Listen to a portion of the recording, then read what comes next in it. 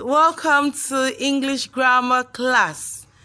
It's Miss Titilayo, and this morning we're going to be talking about proper noun. We're going to be talking about what? Proper noun. Okay? All right, what is a proper noun? A proper noun is a specific name of a person, animal, place, or thing. A proper noun is a name that a person, an animal, a place, or a thing bears. The name you call it. The particular name of a person. Joy. Desiree.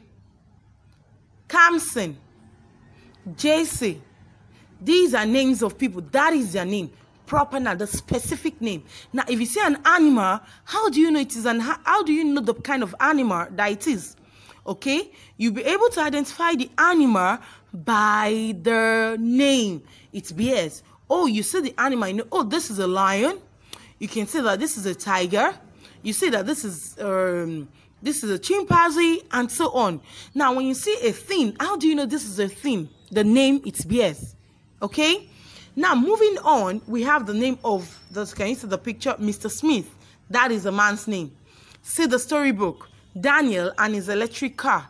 That is the name of I won't just say any book, I won't say a book. Rather, I'm going to say Daniel and his electric car. So if I tell you go and get me a book, a story book, I'll say go and get me Daniel and his electric car. Now this is an animal.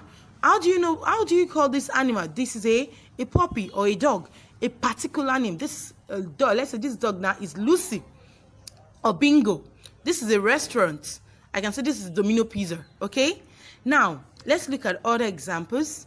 Mr. James is a new teacher. Now, I've called the name of the teacher, Mr. James. Number two, my father traveled to New York last month. My father traveled to New York last month. Now, look at the word in red. New York. I didn't say my my father traveled out last month. I said my father traveled to New York. I've mentioned the particular place my father went to. Oreoluwa is my friend. Oreoluwa is my friend. I've mentioned the name of my friend, and the name of my friend is Oreoluwa. I've mentioned the person's name. Now let's look at number four. I will see you on Monday. Now, can you tell me the proper noun there? Monday. Good job, because I've mentioned the name of the week. The name of the week is what? Monday. Number five.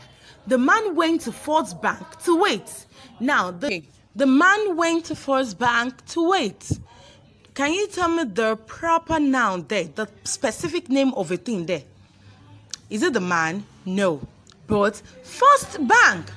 Good, because it's mentioned the specific name of the bank. I didn't say the man went to the bank to wait. Okay? But I mentioned the name of the bank, which is what? First Bank. Okay? Being specific, mention name of that particular thing. Okay? All right, thank you for listening and God bless you.